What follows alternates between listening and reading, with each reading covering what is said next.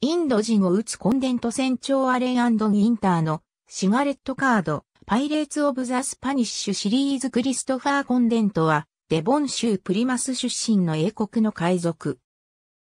その正確な本名は伝わっておらず、コンデントの他に、コングドン、コンドン、コナー、コンデルなどの姓のほか、クリストファー、ウィリアム、エドモンド、エドワード、ジョンなど様々な名で呼ばれている。最も著名な呼び名がクリストファー・コンデントであるが、ビリー・ワンハンドという異名でも知られている。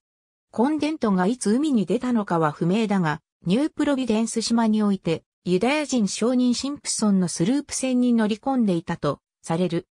1718年、ウッツ・ロジャーズ総督がプロビデンス島にやってくると、彼らは島を去ることを決めた。島を出港して間もなく、とあるインド人の船員が他の仲間たちと揉め事を起こした。腹を立てた男は、スループ船を爆破してしまおうと考え、大量の武器と共に船蔵に立てこもってしまった。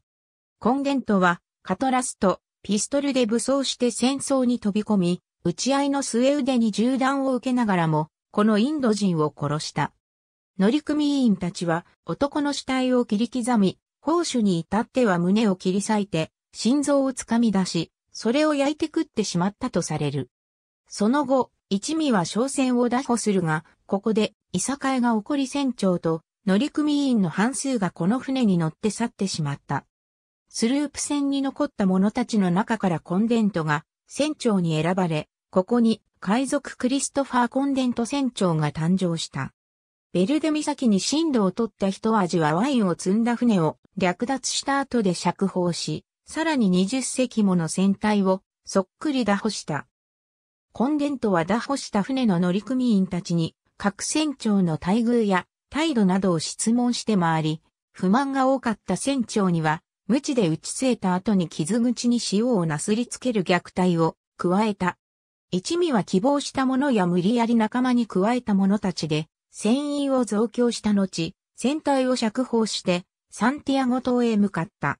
コンデントはこの島でオランダ船を打破し、フライングドラゴン号と名付けて機関とした。ブラジル沿岸に進路を取った人味は、スペルト船長のガレー船ライト号を打破した。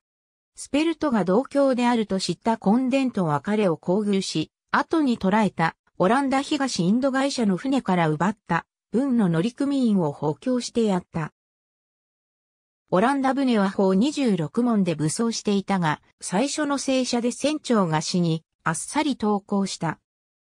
これらの船を連れて、フェルディナンド島に向かったコンデントは、当地でスペルトに、オランダ船から略奪した物資を分け与えて解放した。コンデントは、オランダ船の乗組員たちに、自分が出版してから24時間は、フェルディナンド島に泊まるよう命じ、もしこれに従わなかった場合は、全員切り殺してやると脅迫した。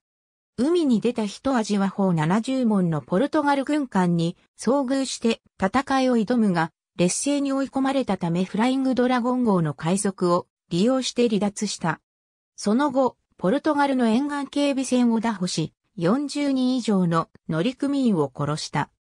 このブラジル沿岸の航海の最中、ナンパした海賊船の乗組員たちが投獄されたという噂を聞いたコンデントは、捉えたポルトガル人全員の耳と鼻を切り落として虐待した。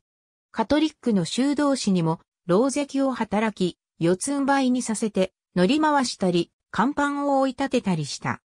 ギニアで多数の船を略奪したコンデントはマダガスカルに向かい、サントマリー島でジョン・ハルゼー船長の乗組員数人や他の海賊たちを仲間に加えた。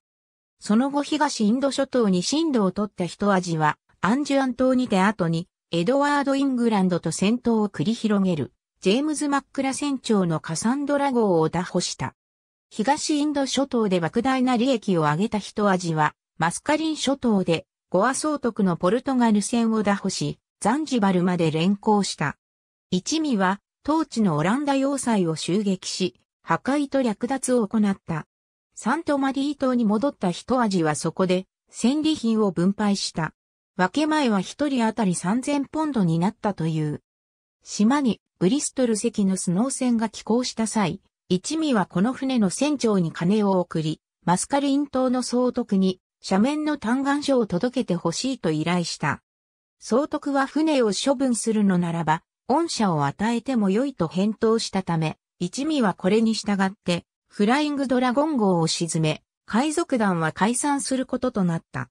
数十名の乗組員が島に居住することとなり、コンデント自身はマスカリン島へ渡って総督の義理の妹と結婚した。後にフランス本土に居を移し、サンマロの商人となったとされる。クリストファー・コンデントの海賊機コンデントの海賊機は黒地に三つのサレ神戸と交差した骨である。この海賊記には諸説あり、これを証明する情報源はないとされる。ありがとうございます。